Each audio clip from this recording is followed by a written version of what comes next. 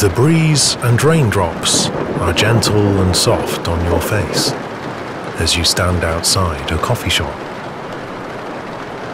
The shopfront offers warmth and safety, along with a whole manner of comforting beverages. Light is spilling out of the windows, and through them you can see the comfort it offers. You decide to head on in. A bell chimes as you open the door. The air is warm and full of the wonderful and familiar scent of fresh coffee. You walk up to the cashier and place an order for a cup of coffee. The cashier is lovely and genial. She charges you $3 for the cup and you hand over your money.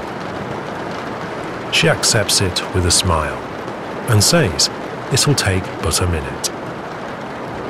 You move to the other end of the counter to wait and you watch her work. The scent of the coffee is strong and inviting. You move to find a seat. By the window, there is a spare armchair. The fabric is soft to the touch, and as you sit, you snugly sink into the cushions. You feel content and take small sips of your coffee.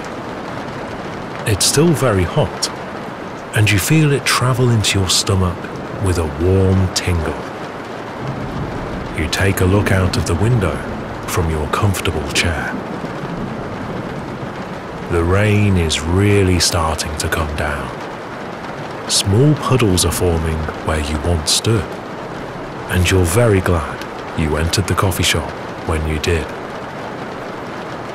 You can only just hear the hum of the water droplets falling. The rain trickles down the window beside you, forming a myriad of different flows and patterns that are constantly changing. The rain has redoubled its efforts and is coming down even harder. You might be in this coffee shop for a while. That's not a problem. In fact, it might be hard to leave. It's comforting and safe here.